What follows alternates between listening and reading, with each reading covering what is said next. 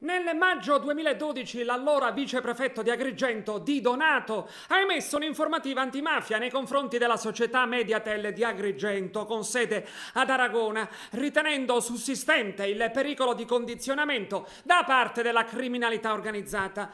A seguito di tale informativa, l'ex consorzio ASI di Agrigento, oggi IRSAP, ha revocato un lotto di terreno già assegnato alla Mediatel.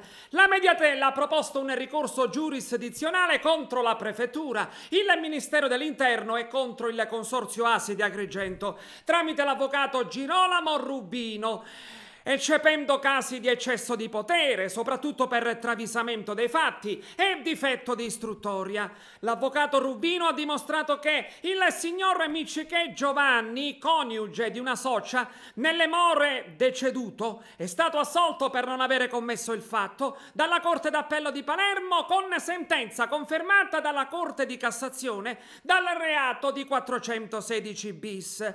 Rubino ha inoltre opposto che anche il Tribunale di Agrigento ha respinto la proposta di applicazione della misura di prevenzione della sorveglianza speciale a carico dello stesso Miciche Giovanni, non ricorrendo la pericolosità sociale del soggetto.